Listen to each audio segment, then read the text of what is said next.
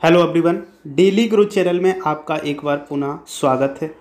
आज हम लोग देखेंगे आई टी आर वन को किस प्रकार से फ़ाइल करते हैं और किन किन के लिए आई टी आर वन होता है। इसके बारे में हम लोग पहले डिटेल में चर्चा करेंगे। उसके बारे में पूरा ट्यूटोरियल देखेंगे किस प्रकार से हम इनकम टैक्स रिटर्न को फ़ाइल करते हैं, आई टी आर वन को फ़ाइल करते हैं।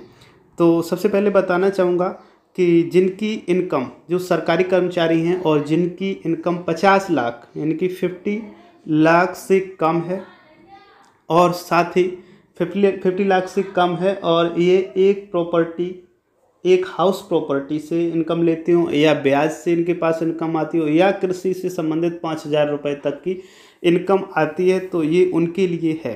तो मुख्य रूप से अगर कहें तो सरकार, सरकारी जो कर्मचारी होते हैं, उनके लिए ये I T R one form है, उन्हें इसे फिल करना होता है। यदि कोई कंपनी चला रहा है, कोई फैक्ट्री चला रहा है तो उसके लिए आई टी आर वन बिल्कुल भी नहीं होता है।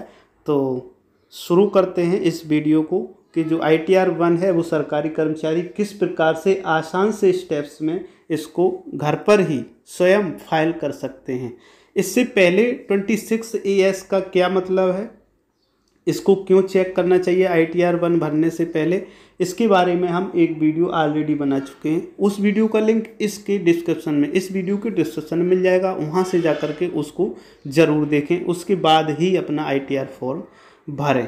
और एक बात याद दिलाना चाहूँगा कि आप हमारे टेलीग्राम चैनल को ज़रूर ज्वाइन कर लें, क्योंकि उस पर इम्पोर्टेंट वीडियोज़ के लिंक्स मिलते रहेंगे। साथ ही जो इम्पोर्टेंट पी होते हैं, जिनका प्रयोग करते हैं, वो भी आपको वहीं पर मिलते रहेंगे। तो शुरू करते हैं। सबसे पहले हम गूगल क्रोम को ओपन कर लेते हैं। गूगल क्रोम को आप ओपन अपने पीसी पर भी कर सकते हो मोबाइल से भी आप यहाँ पे कर सकते हैं। तो हमारा गूगल क्रोम ओपन हो गया। अब हम यहाँ पे सर्च बार में जाएँगे और सर्च बार में लिखेंगे income tax income tax India e filing dot G O V dot in ये वेबसाइट आपको यहाँ पे सर्च बार में नोट करनी है। या फिर आप हमारे इस वीडियो के डिस्क्रिप्शन में भी ये वेबसाइट पाएँगे, वहाँ से क्लिक करके आप सीधे इस वेबसाइट पर जा सकते हैं। तो यहाँ से गो करेंगे, यानी कि सर्च होने लगेगा और सर्च हो करके ये पेज आपके सामने आ जाएगा। अब यहाँ पे हम देखेंगे, इसमें लिखा है who can file I T R one for assessment year 2020 and 21 तो इसमें लिखा है resident individuals having total income up to from the following sources जिनकी जो इनकम है, जो रेसिडेंस हैं, उनकी इनकम पचास लाख से कम है, वो लोग इसको भर सकते हैं। इसमें ये लिखा हुआ है। अब इनकम कहाँ कहाँ से होनी चाहिए, ये देखिएगा। पहले नंबर लिखा है इनकम फ्रॉम सैलरी या पेंशन से होनी चाहिए। Income from one house property से होनी चाहिए। इनकम फ्रॉम अदर सोर्सेज से होनी चाहिए, जैसे कि इंटरेस्ट है, ब्याज जो मिलता है, और एग्रीकल्चर से इनकम अप टू पाँच हज़ार रुपये यानी कि फाइव थाउज़ेंड रुपीज़ तो यहाँ से यदि आपकी इनकम हो रही है तो आप आई टी आर वन भरने के लिए अवेलेबल हैं, उपलब्ध होना चाहिए, यानी कि आपके लिए आवश्यक है कि आपको आई टी आर वन भरना है। लेकिन ये टोटल जो इनकम है वो मिला करके फिफ्टी लैख से ज़्यादा नहीं होनी चाहिए, पचास लाख से ज़्यादा नहीं होनी चाहिए। चलो, अब हम चलते हैं ई फिलिंग की ओर। ई फिलिंग से पहले फिर से एक बार याद दिला दूँ कि ई फिलिंग करने से पहले आप अपना twenty six A S form ज़रूर चेक कर लें। ट्वेंटी सिक्स ए एस अब इसको कैसे चेक करना है, इसके बारे में हमने डिटेल में एक वीडियो बनाया है। इस वीडियो के डिस्क्रिप्शन में मिल जाएगा, वहाँ से आप उसे देख सकते हैं।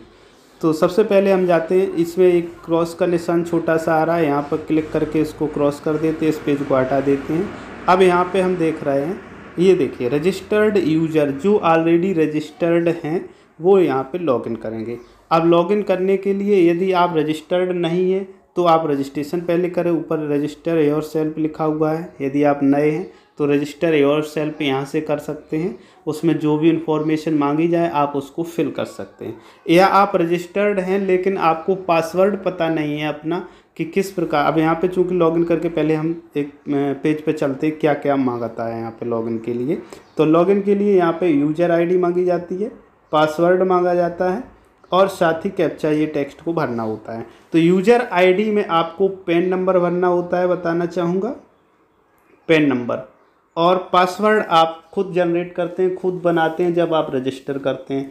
या आपने किसी और के द्वारा आईटीआर पहले ईयर्स में फ़ाइल करवाया है तो उसको, वो पता होगा। यदि वो भी पता नहीं है तो आप फॉरवर्ड पासवर्ड कर सकते हैं। इसमें ही ऑप्शन है। और इसका भी तरीका आपको पिछले जो मैंने ट्वेंटी सिक्स के बारे में जब लॉगिन करके दिखाया था तो वहाँ पे फॉरवर्ड पासवर्ड कैसे करेंगे, उसके बारे में हमने डिटेल में बताया है। तो इस वीडियो को आप इस वीडियो के डिस्क्रिप्शन में जाके देख सकते हैं। तो शुरू करते हैं। सबसे पहले हम एंट्री करने के बाद में पासवर्ड डालने के बाद में लॉगिन होकर मेन पेज पर पहुँचते हैं, फिर मिलते हैं। तो यहाँ पे हमने सारी एंट्री कर ली है। सारी एंट्री करने के बाद में अब हम नीचे लॉगिन पर क्लिक करेंगे और लॉगिन पर जैसे ही क्लिक करेंगे, वैसे ही हम लॉगिन होने के बाद में एक न्यूज़ पेज पर ओपन होकर आ जाएँगे। अब यहाँ पे हमें बहुत ही क्या क्या इंपॉर्टेंट पॉइंट्स दें, सबसे पहले वो देख लेते हैं। यहाँ पे आपका नाम आ जाएगा वेलकम करके, उसके बाद में लॉग आउट ऑप्शन वहीं पे होगा। लॉगिन का आज का लास्ट लॉगिन का डेट नीचे पड़ा होगा। और उसके बाद में ये पॉइंट्स आपको मिलेंगे। Dashboard my account e file e proceeding कई एक पॉइंट्स मिलेंगे, लेकिन हमें कहीं पर कोई छेड़छाड़ी नहीं करनी है। कोई टचिंग नहीं करना है। लेकिन ट्वेंटी सिक्स ए एस ज़रूर देखना है, जिसको आप पिछले वीडियो से देख सकते हैं। अब यहाँ पे ई फिलिंग के लिए ये देखो। यहाँ पे ये क्लिक हो रहा है जो e filing filing of income tax return ये लिखा हुआ है। यहाँ पे आप क्लिक करेंगे। यहाँ पे जैसे ही आप क्लिक करेंगे, वैसे ही एक आपके सामने नया पेज ओपन होगा। अब ये नया पेज आ गया। यहाँ पे क्या होगा? सबसे पहले अपना आपका पेन नंबर लिखा होगा ऑलरेडी आपको लिखने की कोई आवश्यकता यहाँ पे नहीं। उसके बाद में असेसमेंट ईयर को आपको चुनना होगा। जैसे अभी असेसमेंट ईयर जो है 2020 इक्कीस है, उसको मैंने सेलेक्ट कर लिया। उसके बाद में आईटीआर कौन सा आपको करना है? आईटीआर वन के लिए ही बता रहे हैं तो आईटीआर वन हो जाएगा। और नेक्स्ट नीचे फिलिंग टाइप क्या होगा? ओरिजिनल और रिवाइज इसको क्लिक करना पड़ेगा। उसके बाद में मोड ऑफ़ सबमिशन क्या होगा? प्रिपेयर एंड सबमिट ऑनलाइन तो ये क्लिक करना होगा। तो ये एंट्री जब आप कर देंगे तो उसके बाद में नीचे आएँगे। जब नीचे आएँगे तो यहाँ पे यदि आप पहली बार भर रहे हैं तो यहाँ पे ये कोई लाइन नहीं आएगी। लेकिन यदि आप एक दो बार भर चुके हैं तो यहाँ पे आपका अकाउंट नंबर जिसमें आप रिटर्न चाहते हैं, वो यहाँ पे लिखा हुआ होगा। तो उसको आप क्लिक करके यदि सही है तो उसको सही कर लें। यदि कोई उसमें प्रॉब्लम है तो उसको सही कर लें। उसके बाद में कंटिन्यू नीचे लिखा हुआ है, हम कंटिन्यू पर क्लिक करेंगे। तो जैसे ही कंटिन्यू पे क्लिक करेंगे, एक डायलॉग बॉक्स आएगा। यहाँ पे लिखा हुआ है online please check the pre filled data before submitting the form जो पहले से फिल डाटा है इनके आपका एड्रेस वगैरह जो भी है, उसको पहले चेक कर लें, उसके बाद में करें इनसे और खोलें उसके बाद एक छोटा सा ये पॉइंट्स आ रहा है, इस पर हम टिक करते हैं और इस पर टिक करेंगे। टिक करने के बाद में कंटिन्यू करेंगे। कंटिन्यू करते हैं तो एक नया पेज यानी कि ई रिटर्न फ़ाइल जो हमें करना है, उसका पहला पेज यहाँ पर ओपन होकर आ जाएगा। यहाँ पर पहले पेज में इंस्ट्रक्शन दिए गए हैं, उनको आप पढ़ सकते हैं, समझ सकते हैं, जो भी इसमें इंस्ट्रक्शन है। अब क्या करेंगे, यहाँ से नीचे जाएँगे, और ये जो एरो का बटन आ रहा है, यहीं से आप नेक्स्ट नेक्स्ट करते चले जाएँगे। चलो नेक्स्ट करते हैं, दूसरे पेज पर पहुँचेंगे। तो जैसे दूसरे पेज पर पहुँचेंगे तो यहाँ से ये फॉर्म के बारे में डिटेल शुरू होता है। तो इसको अब हम ध्यान से देखेंगे। तो सबसे पहले इसमें क्या होगा कि आपकी जो इन्फॉर्मेशन है पर्सनल इन्फॉर्मेशन वो दी हुई है। यदि कोई इन्फॉर्मेशन इसमें गलत है तो आप उसको स्वयं सुधार सकते हैं, उसको सही कर सकते हैं। आपका एड्रेस वगैरह सब कुछ इसमें दिया हुआ है। अब यहाँ से आपको करना क्या है?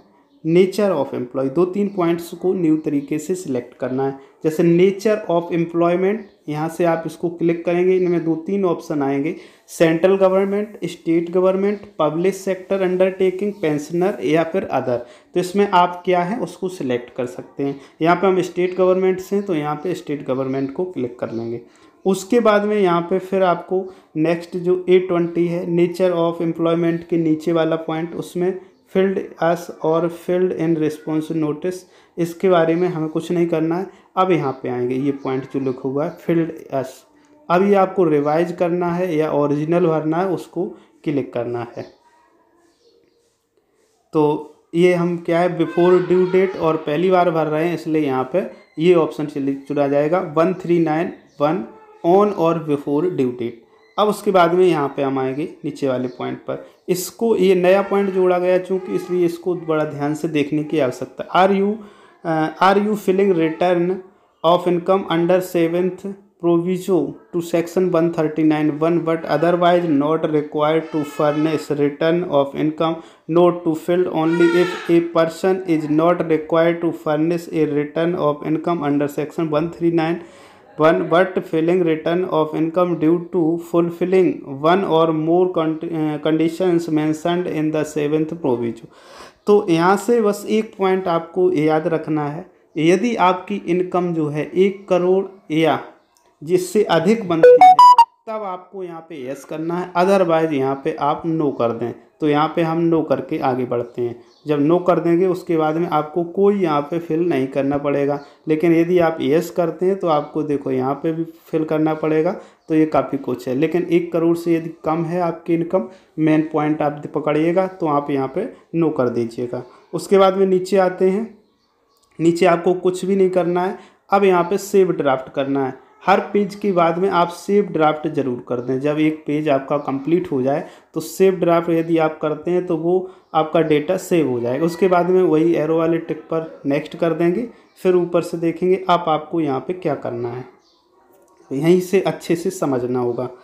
अब यहाँ से आपको ये करना है कि ये जो सेवनटीन वन है इसमें आपको क्या लिखना होगा? इसमें आप अपनी सैलरी लिखिएगा, जो फॉर्म सिक्सटीन के अकॉर्डिंग दी गई है, या फिर उसमें कम ज़्यादा है तो उसको भी आप नोट कर सकते हैं, ज़्यादा कर सकते, कम कर सकते।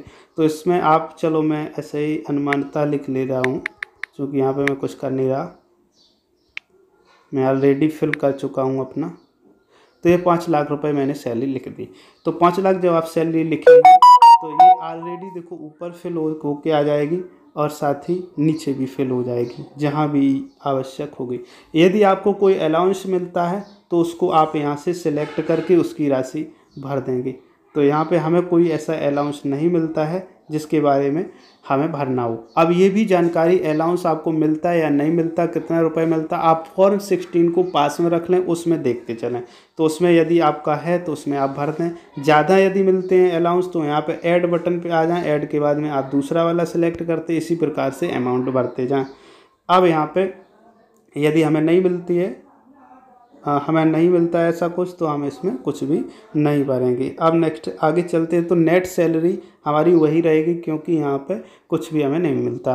अब स्टैंडर्ड डिडक्शन ये ऑटोमेटिकली यहाँ पे भर के आ जाएगा। यहाँ पे आपको कोई कर कुछ भी करने की आवश्यकता नहीं है। पचास हज़ार रुपये जो स्टैंडर्ड डिडक्शन है वो ऑटोमेटिक यहाँ पर भर जाएगा। अब नीचे चलेंगे। अब यहाँ पर देखते हैं। आ,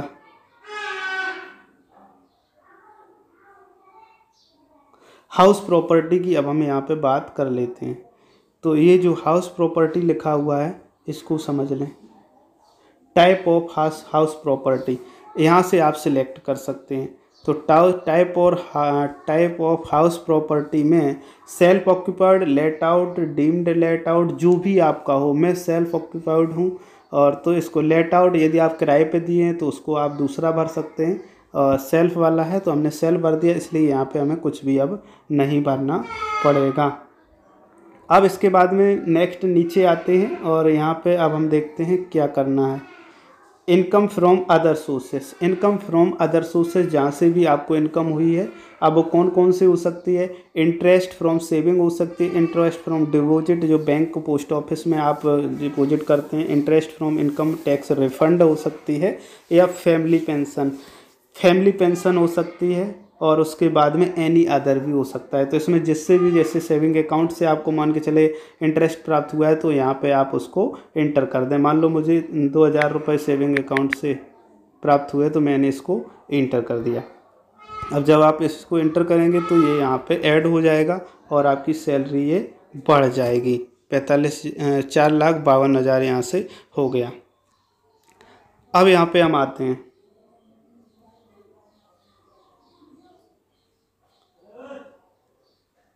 अस्सी सी के तहत अब हम लोग देखेंगे जो भी अस्सी सी में। अब अस्सी सी के अंतर्गत जो आपने सेविंग्स की है, बचत की है, उसको हम यहाँ पर इंटर करेंगे। तो ये life insurance, defective annuity contribution to provident fund, PPF यानी कि subscription to certain equity shares shares में डालते हैं, डिवेंचर्स ईटीसी इनमें यदि डालते हैं, आप उसकी राशि को यहाँ पर इंटर कर सकते हैं। तो यहाँ पे ये टोटल जो बनेगा आपका, यहाँ पर डेढ़ लाख रुपए तक आप सेव कर सकते हैं। तो यहाँ पे हमने जो सेविंग की है, वो एक लाख पंद्रह हज़ार रुपये मान के चलिए हमने की है।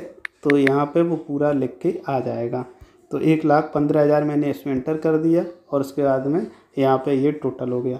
अस्सी C C, triple C payment respect to pension fund में यदि आपने कुछ डाला है तो उसके लिए है अस्सी C C D one V contribution to pension scheme of central government. यानी कि अस्सी G one V contribute to pension scheme of central government. अगर यहाँ पे यदि आपका एन पी एस कटता है या पेंशन के रूप में आपका कटता है कुछ भी तो हमारा एन पी एस जैसे कटता है तो वहाँ उसका हम इसमें एंटर कर देंगे, यानी कि वन बी में, अस्सी C C D one B. तो यहाँ पे कटता है, जो भी आपका कटता हो, वो आप इसमें डाल सकते हैं, लेकिन यहाँ से आपको जो छूट है, वो पचास हज़ार रुपये तक मिलेगी। अब हमारा पचपन हज़ार रुपये जैसे कटा है तो हम इसमें पचपन हज़ार रुपये लिखेंगे, लेकिन छूट आपको पचास हज़ार मिलेगी। ये देखो यहाँ पर लिख करके आ गया। तो ये इतना भर गया है, उसके बाद में और देखते हैं क्या इम्पोर्टेंट है।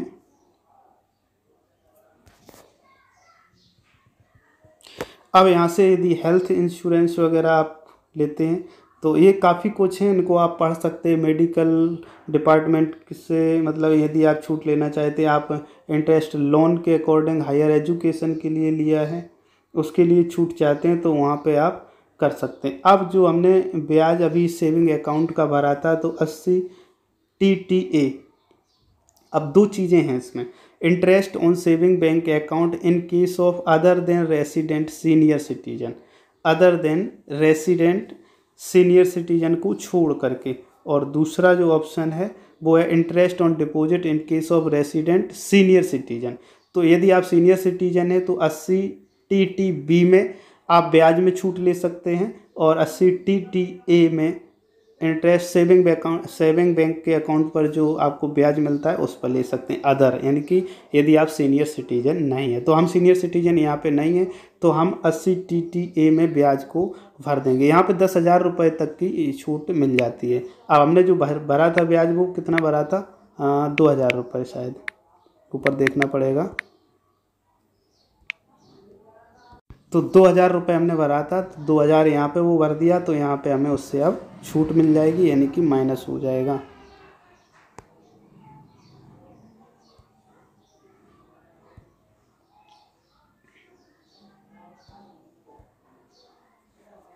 तो इस प्रकार से और भी जो भी आप छूट चाहते हैं, आप योग्य हैं छूट के तो उनको आप इसमें एंटर कर सकते हैं। अब इसके बाद में हमारे पास, यदि आप इन नेचर एग्रीकल्चर से यदि आपको कुछ मिलता है एग्रीकल्चर इनकम पाँच हज़ार रुपये तक इसमें छूट है तो उसको आप इसमें डाल सकते हैं, नहीं तो अब हम नीचे आएँगे। अब यहाँ पे ये ऑटोमेटिक सब कुछ आ जाएगा। यहाँ से आपको कुछ भी करने की आवश्यकता नहीं पड़ेगी। आप सेव ड्राफ्ट पे जाएँगे और यहाँ से सेव कर देंगे। सेव करने के बाद में फिर एरो का निशान क्लिक करेंगे और फिर ऊपर देखेंगे जा कर के इसमें क्या बनना। अब ये देखते हैं। यहाँ ये जो डिटेल होता है, ये twenty six A S form का होता है, जो मैंने पहले भी बताया है। Twenty six A S form का होता है, जिसके बारे में आप डिटेल से इस वीडियो के डिस्क्रिप्शन जाके वीडियो ज़रूर देख लें। तो ये ऑलरेडी मेरा जो टी डी एस कटा हुआ है, वो लिखा है और जो सैलरी इसमें बन रही है, इनके अनुसार फाइनेंस डिपार्टमेंट के अनुसार तो वो लिखी हुई है। अब यहाँ पे और कुछ भी आपको नहीं करना है और यदि आपने अलग से कोई टैक्स जमा किया है तो उसका आप डिटेल यहाँ पर भर सकते हैं और यदि नहीं किया है तो आपको कुछ नहीं करना सेव ड्राफ्ट करना है और नेक्स्ट बटन पर फिर आगे बढ़ जाना है। अब इसके बाद में यहाँ पे देखते हैं, यहाँ पे क्या करना है, यहाँ भी कुछ नहीं करना है। बस यहाँ पे ये लिख के आ गया, मेरा कोई भी टैक्स नहीं बन रहा था। और ये मुझे सात हज़ार दो सौ चालीस रुपये रिफ़ंड होने यहाँ पर ये लिखा हुआ है। तो इस प्रकार से आपका भी जितना रिफ़ंड होने को होगा, वो लिख करके आ जाएगा।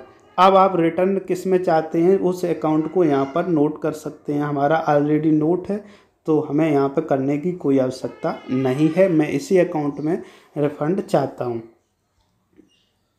अब नीचे आते हैं। नीचे आने के बाद में यहाँ पे अपना डिटेल अपना नाम और सिलेक्ट बाई सेल्फ यहाँ पे करना पड़ेगा। तो सेल्फ कर दिया और उसके बाद में प्लेस आप लिख सकते हैं। जो भी लिखें मान के चलो मैंने एम एम कर दिया। तो ये प्लेस हो गया। प्लेस के बाद में अब यहाँ पे ये तीन पॉइंट आते हैं। इनको देख लें।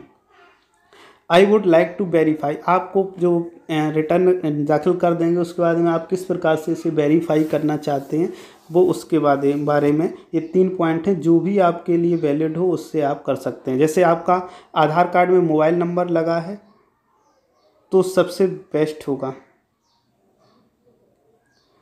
I would like to e verify later within second number second number इसमें आप कर सकते हैं, या फिर आप इसकी कॉपी निकाल करके जो I T R five through normal speed post से आप भेज सकते हैं, इसमें लिखा हुआ है उसकी कॉपी। अब यहाँ पे इसको सेव कर देंगे। सेव करने के बाद में फिर नेक्स्ट पर चलेंगे। अब आपको यहाँ पर कोई ऐसे इम्पोर्टेंट पॉइंट्स नहीं है। हाँ एक तो पॉइंट्स हैं जिसको आप यहाँ पे छूट ले सकते हैं। लेकिन यहाँ पे तो वही पिछले वाले हैं। सी सी सी सी, डी जो भी छूट वाले हैं, उनके बारे में नेक्स्ट पर चलेंगे। नेक्स्ट पर चलने के बाद में यहाँ पर ये छूट आपको मिल सकती है यदि आप लेना चाहते हैं। Whether you or any of your family member excluding parents is a senior citizen अगर आपके परिवार में या आप सीनियर सिटीजन हैं तो उसके लिए आपको यहाँ से क्लेम कर सकते हैं। अब वो क्लेम क्या क्या कर सकते हैं, वो देख लेते हैं। आप सेल्फ और फैमिली के द्वारा कर सकते हैं। मतलब हेल्थ इंश्योरेंस के लिए, हेल्थ चेकअप के लिए जो आपने खर्च किया उसके लिए हेल्थ इंश्योरेंस, सेल्फ और फैमिली सीनियर सिटीजन मतलब आप ये चेकअप वगैरह के लिए आप क्लेम कर सकते हैं। तो यहाँ से आपको सिलेक्ट करना होगा एस यदि आप एस करेंगे तो यहाँ पे आपको क्लेम करने के, मैं क्लेम करेंगे तो उसमें छूट मिल जाएगी। या फिर मैं नॉट क्लेमिंग कर रहा हूँ, यहाँ पे क्लेम नहीं कर रहा हूँ तो नॉट क्लेमिंग कर देंगे। और उसके बाद में फिर यहाँ पे देखिएगा whether any one of your parent is a senior citizen senior citizen हैं या नहीं हैं, यहाँ पे आप, या नो क्लेमिंग ऑफ़ पेरेंट्स नहीं करना चाहते तो नो क्लेम कर सकते हैं। और यदि आप करना चाहते हैं तो यहाँ पे यस कर सकते हैं। तो यस जब आप कर देंगे तो यहाँ पे दो तीन पॉइंट्स में आपको छूट मिल जाएगी। जैसे हेल्थ इंश्योरेंस में मिल जाएगी चेकअप में मिल जाएगी, जो पेरेंट्स आपके सिटीजन हैं। यदि चाहते हैं तो आप इसमें भर सकते हैं। उसके बाद सेव ड्राफ्ट करेंगे। सेव ड्राफ्ट करने के बाद में फिर से नेक्स्ट करेंगे। नेक्स्ट करने के बाद में इसमें आपको कोई ऐसा डोनेट यदि आपने कहीं पर किया है तो उसके बारे में डिटेल भर सकते हैं। उसके बाद में सेव करने के बाद में नेक्स्ट पर चले जाएँगे।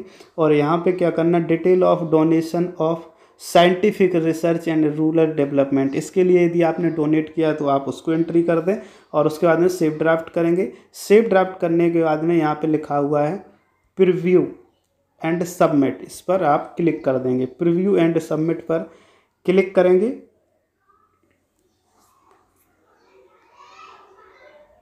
तो यहाँ से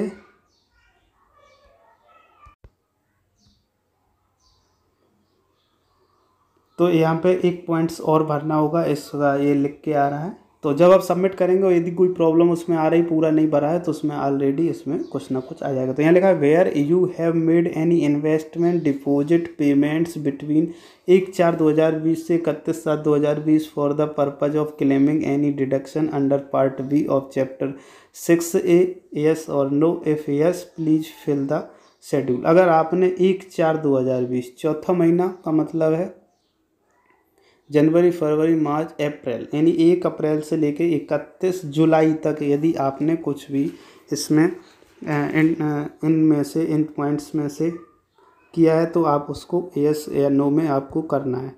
तो आप यहाँ पर यस या नो कर सकते जो भी आपको सूटेबल लगे। ये करने के बाद में पुनः में यहाँ से प्रिव्यू एंड सबमिट करेंगे तो जैसे ही करेंगे, वैसे ही आपका ये लिख करके आ जाएगा। अब यहाँ पे ये लिख के आ रहा है, चूँकि ऑलरेडी मैं कर चुका हूँ, इसलिए please select at least one account in which you prefer to get your refund bank detail and tax paid ये लिख के आ तो इस प्रकार से आप अपना पूरा ये भर सकते हैं और भरने के बाद में उसे सबमिट कर सकते हैं। तो जब आप सबमिट करेंगे तो ये सेव हो जाएगा और यहाँ पर इस प्रकार का ये फॉर्म बन जाएगा। अब इसे आप पूरा एक बार चेक कर सकते हैं। चेक करने के बाद में यदि कोई इसमें मिस्टेक है तो आप उसको सही कर सकते हैं और सही करने के बाद में आप इसे फाइनल सबमिट यहाँ से दे सकते हैं। तो हम ऑलरेडी भर चुके हैं, इसलिए इसको फाइनल सबमिट नहीं करेंगे। तो उम्मीद करता हूँ इस प्रकार से आप सहज आई टी आर वन को आसानी से घर पर भर सकते हैं। वीडियो पूरा देखने के लिए धन्यवाद।